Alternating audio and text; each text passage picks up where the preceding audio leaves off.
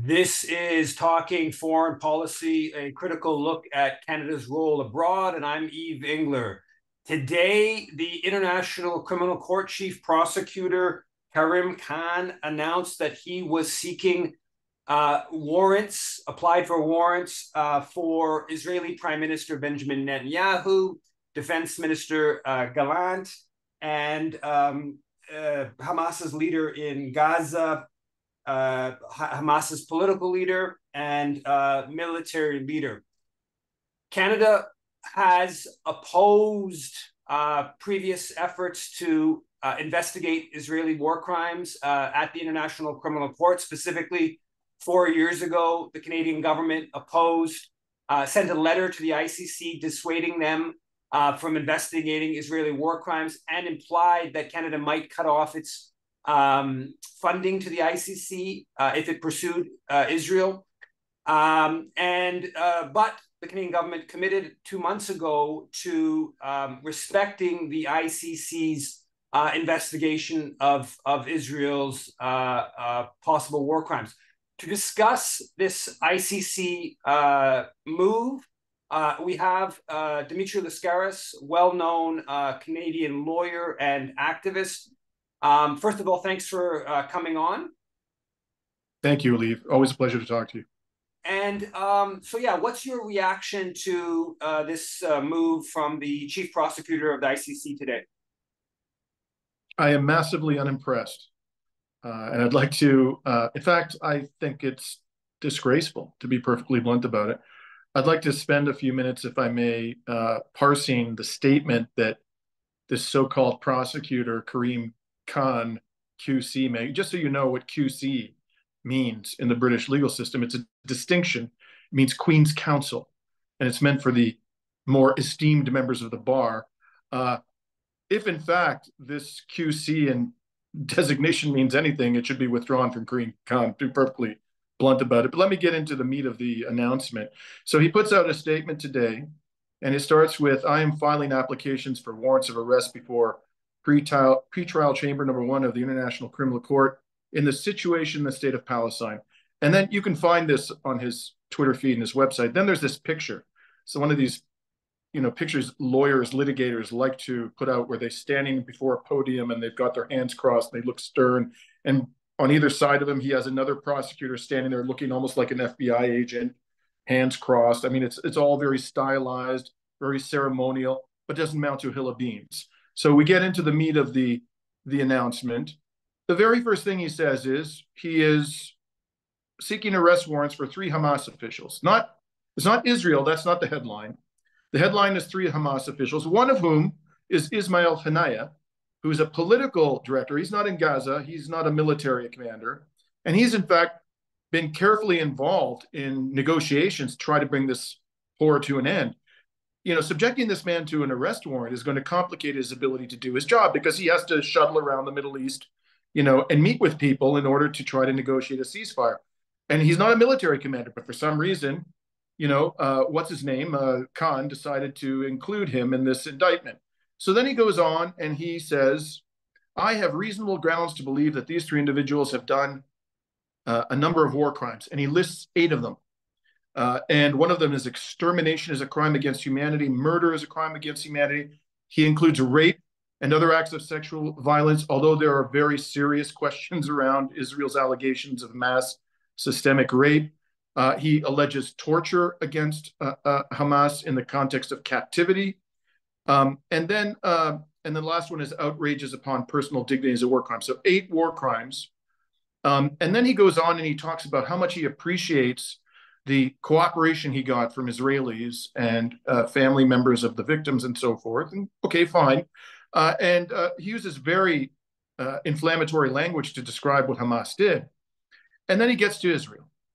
And uh, there he reveals that he's only going to prosecute two people, uh, not three, as in the case of Hamas the Prime Minister Netanyahu and Yoav Gallant, Defense Minister. And by the way, these two people are probably finished politically when this war is over uh, because they were the ones who were in charge of Israeli security on October 7th, and because uh, one of them, Benjamin Netanyahu, is extremely corrupt and should be in jail for a whole range of things, including corruption.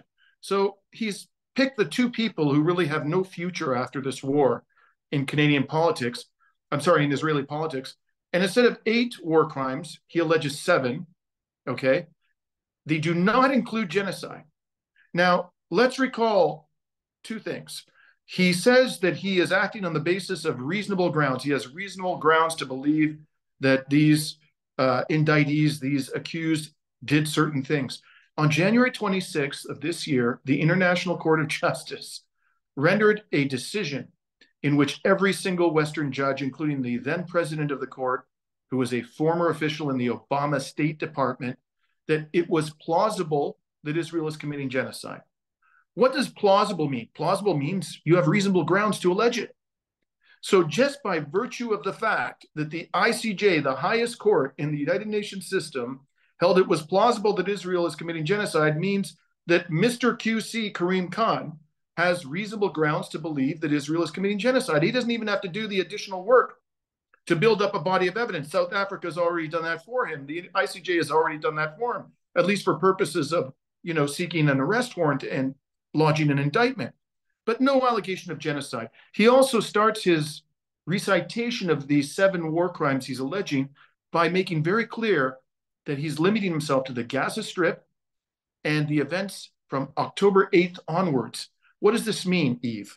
This means Forget about apartheid, which doesn't appear anywhere in here, and Amnesty, Human Rights Watch, B'Tselem, Yesh Din, two Israeli human rights organizations, a whole slew of UN special rapporteurs have all said Israel is committing apartheid. It's a slam dunk. That's off the table. Genocide is off the table. What, is, what else is off the table? The settlements in the West Bank, because he's limiting it to the Gaza Strip. And that is also a slam dunk. There's no question that the settlements violate a, a, constitute a war crime and a violation of international law. In fact, even Canada's government admits this. And um, frankly, the ICC should have uh, prosecuted Israel for that particular war crime 20 years ago. It's inconceivable. Uh, uh, that there's no possible justification for its not having done so up until this very day. And now we're told today that that too is off the table. The settlements, which have expanded relentlessly during the genocide that we are now witnessing. So, in my opinion, Yves, what is going on here is that it got to a point where Khan, he waited seven months for this genocide to unfold. Israel alleges that Hamas killed 36 children, two toddlers, not 40 beheaded babies. There's no evidence of that. That was a complete fabrication. Two toddlers, 36 children on October 7th. Israel has killed over 15,000 Palestinian children now, and the number may be well higher when we include the children who are buried under the rubble. And he is telling us that effectively how this is framed is Hamas is the bigger criminal, and Hamas started this whole thing. He's erasing from the record decades of barbaric uh, oppression of the Palestinian people, which clearly any fair minded, sane person can see provoked violence from various factions within Israeli society. It was a, uh, Palestinian society. This was an an inevitable consequence of Israel's decades long barbarism and impunity. So I think he's simply doing the bare minimum. This is window dressing. I doubt very much that without intense pressure, he's going to actually vigorous, vigorously prosecute Netanyahu and uh, Gallant. And I have to say to our comrades in the Palestinian solidarity community, please stop celebrating it, celebrating the crumbs that people like Karim Khan occasionally toss at the Palestinian people, because these are crumbs. This is nothing to celebrate. We should be condemning unequivocally every day this joke of a prosecutor for this disgraceful announcement that he made today.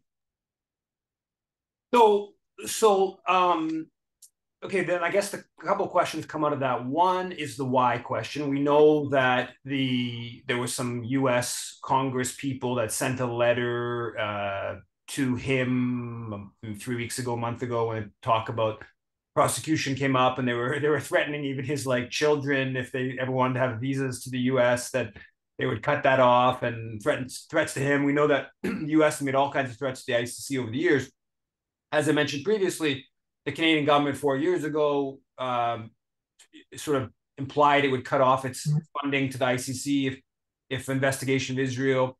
Um, we know that uh, about a year ago, Karim Khan was in Ottawa for an event with the uh, Raoul Wallenberg Center, which is the Irwin Cotler's uh, organization, which at the time I thought this was obviously, first of all, was a bad sign that he would participate in this event put on by Cotler's organization, and also that Cotler's intent in in hosting this event was to try to, you know, like work him to not not uh, investigate Israel's uh, Israel's crimes. And this is of, of all before October 7th.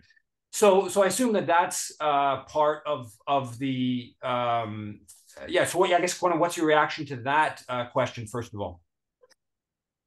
Well, he's a Brit, and he was a British prosecutor. He's a QC, as I mentioned, which means that he is firmly ensconced in the British legal elite, and they approve of him. And all you need to know about Karim Khan, I mean, quite apart from his QC designation and what all that signifies, to those of us who actually understand what these symbols mean, the main thing you need to know is that he was promoted relentlessly for the position by the British government.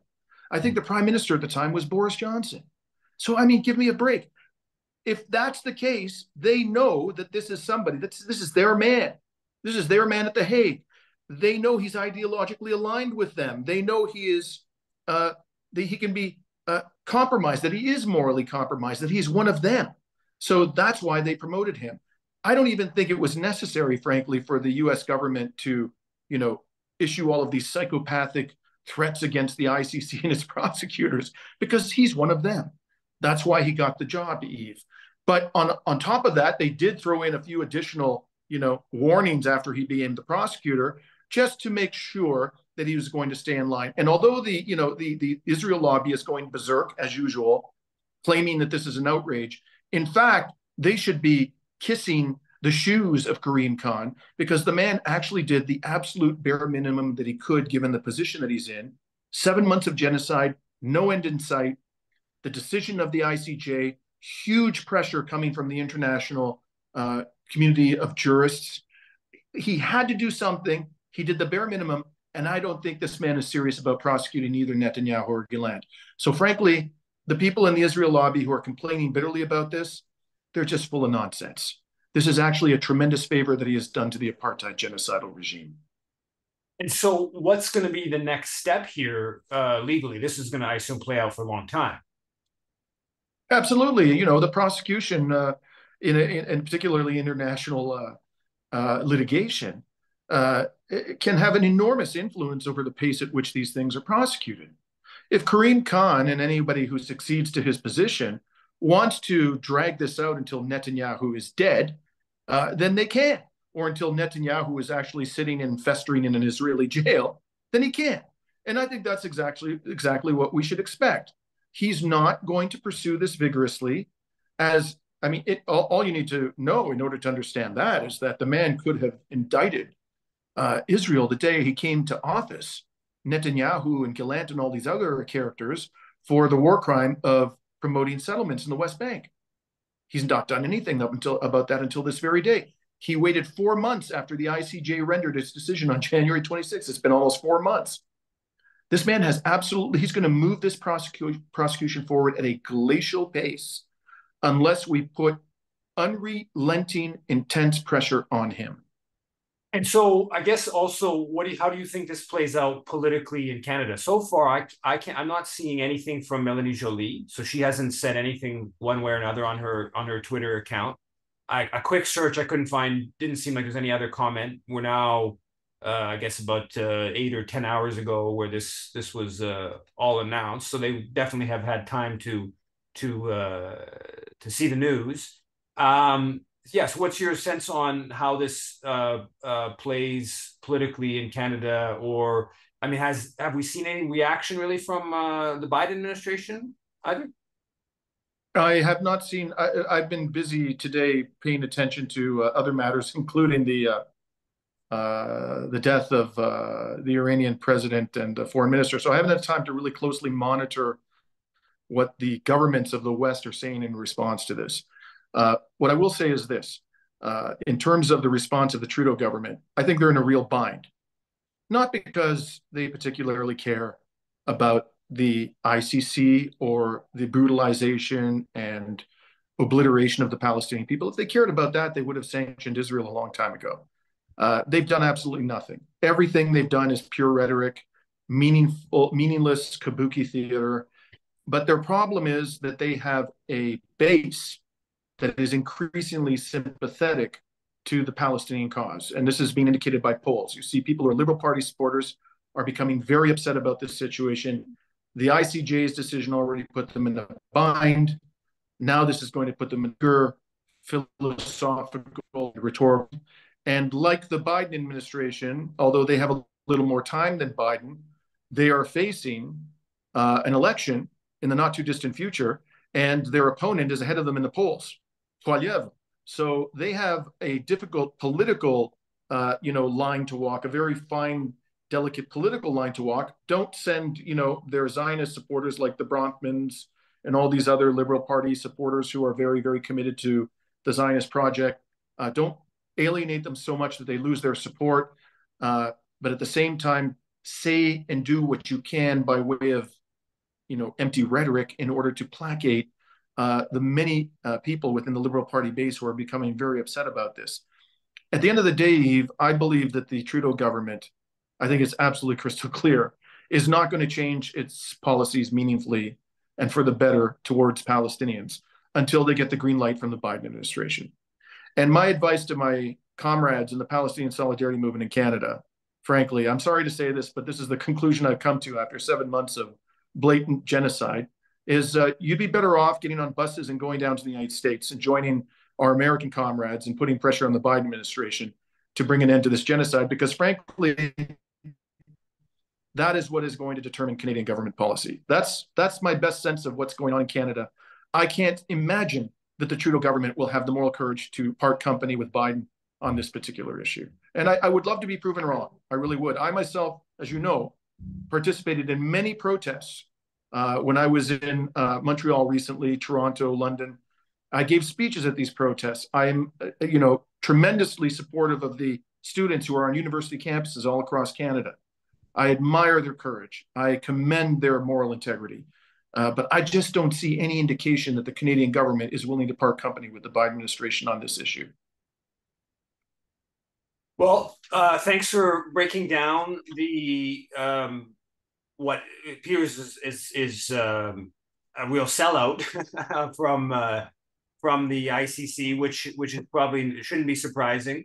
Um, but uh, it's important to know that um, you know this is just fits within the broader pattern of the U.S., U.K., Canada uh, uh, enabling of of Israeli uh, crimes, even when we're supposedly prosecuting those crimes, we're still effectively enabling them. Um, so thanks a lot for coming on to uh, talking uh, foreign policy, Dimitri. Thank you. Good talking to you.